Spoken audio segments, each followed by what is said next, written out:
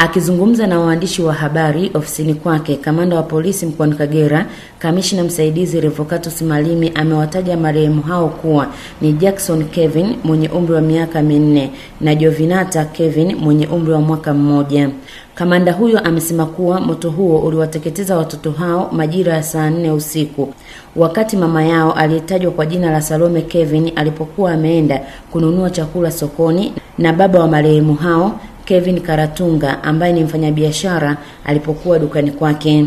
Moto cha tukio la moto huu ni, ni, ni, ni moto wa kibatari ambao uliachwa ukinawaka.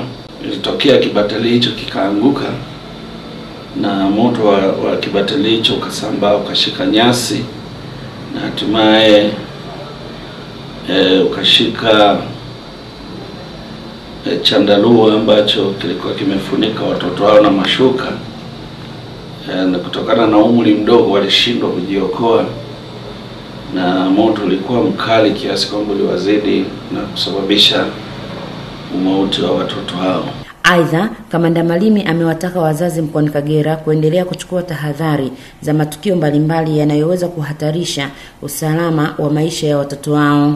Tukio la kusikitisha uh, la kusikitisha sana, ukiangalia ni watoto wadogo bado walikuwa wanatarajiwa ya kuongeza nguvu taifa, nguvu kazi ya taifa, lakini tunapenda tutoe wito na, na, na, na, na tahadhari kwa wananchi kwamba e, wanapotoka wasiwaache watoto mazingira kama hayo, wahakikishe wamezima kama ni, ni, ni moto unaowaka kama taa hizi za, za mish, mishumaa pamoja na vibatari kama ilivyokuwa hivi.